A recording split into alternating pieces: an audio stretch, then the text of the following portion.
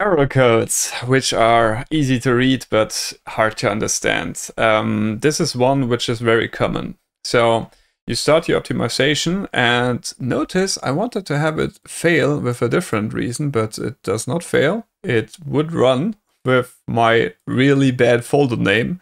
So spaces were not a problem.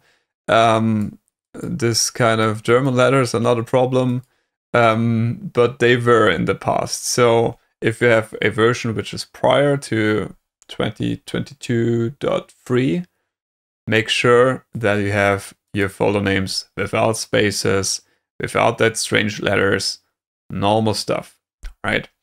Okay, but now this error. Uh, incorrect data field 3.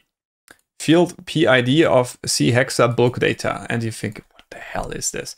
And um, you see about here, next message line, whatever in model.fem. Here you have a line which, all right, this is an element line. CHEXA, there's something, and now field 123 is zero. Something is missing.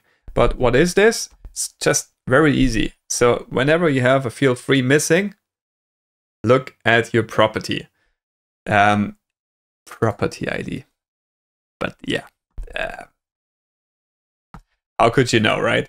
Um, but if you just look into the model, once again, uh, model, and then you have components, and here the component has no property.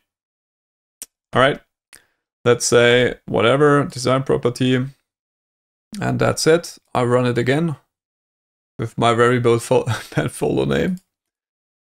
And let's see. Run. There you have it. That's all for today. Thanks, guys, and have a good one.